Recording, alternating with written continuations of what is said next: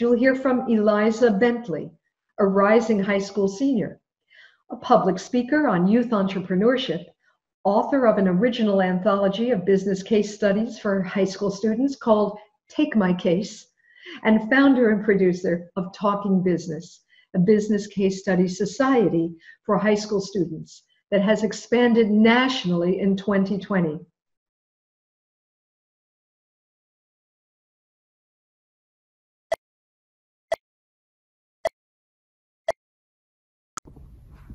Hi, my name is Eliza Bentley and I'm a junior from Long Island, New York. I'm here today to talk to you about my Business Case Study Society, Talking Business. I created this society to prepare the next generation of business minds and entrepreneurs for their possible future paths. Many high schools like mine across Long Island have no business programs for students to enroll in besides typical economics. For those looking to go into the business field, it can be confused what that means, what that looks like, how one could learn more about it. And Talking Business offers that exposure into the business world, harsh, real, and organic conversation and critical thinking that business professionals can provide the curious, naive students looking for experience. Talking Business offers a platform through which future business students can grow their critical thinking skills and be mentored by professional business people in adaptability and heuristics leading to problem solving. Our monthly online case study sessions include exercises in annotation and analysis, as well as instruction by successful business professionals, engaging the divergent thinking of both students and mentors. Through analysis and discussion of McKinsey and Harvard business case studies, Talking Business achieves its goal of teaching members how leaders turn problems on their sides and develop approaches that lead to successes. Consequently, Talking Business helps transform students from consumers of information into creative, organized, and non-traditional thinkers. From watching my mom create her own business to observing top athletic coaches inspire players towards pivotal strategies, I have noticed to take to learn to take opportunity for leadership. It became apparent to me that there were gaps in Long Island business outreach to potential future entrepreneurs. Our generation can no longer rely on learning what is needed for our careers by age 22. Every field is requiring creative and multidisciplinary mindsets. The theoretical tools one might have learned for most professions today will likely be obsolete in a decade. I believe, therefore, that the mentality of a student must be to embrace a lifelong process of learning and relearning. Studying the mindset of an entrepreneur, a successful business person through case studies that treat, teach solutions thinking, sober critical analysis, and improvisation in the workplace can help young people advance as innovators in a world of flux. I began my society by reaching out to active members of Long Island business associations with the request to run one online mentorship session for interested students.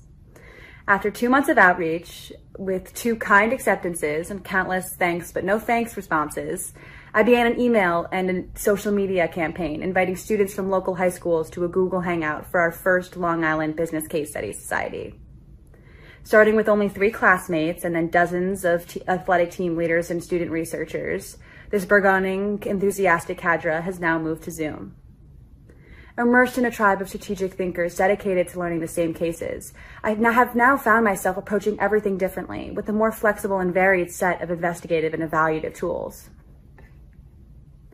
Having been invited as a speaker for business organizations, finance, and technology companies such as Stratus Voice Software, SailPro, and multiple ABA groups with companies such as QuickChow, Boar's Head, and Moxie, I am proud to have expanded Talking Business to serve over 900 high school students across Long Island.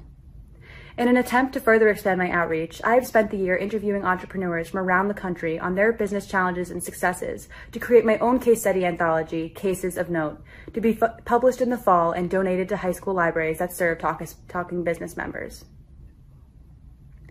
As of 2020, Talking Business has expanded to the West Coast with chapters in Arizona and Seattle high schools.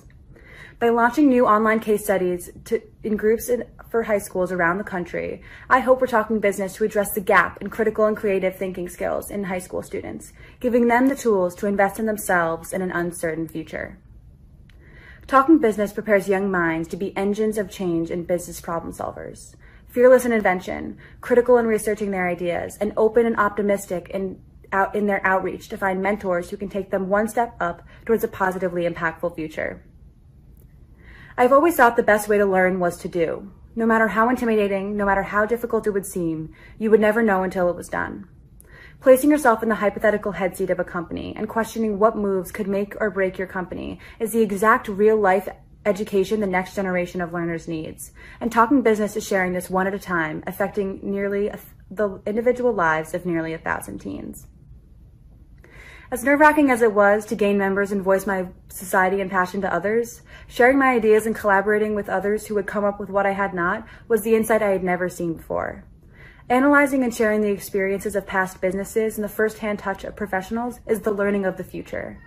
Law and business schools have embraced it for years, and it is time high school students are entrenched in the same real-life simulation.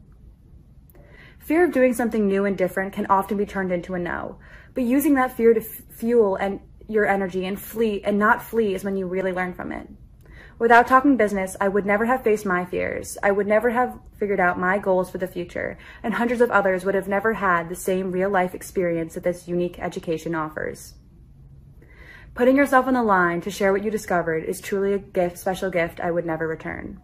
From speaking at meetings to interviewing local entrepreneurs, to meeting top tier business professionals and learning from their guidance, the meaning of business has truly been revolutionized in the eyes of me and hundreds of others around the country. Thank you.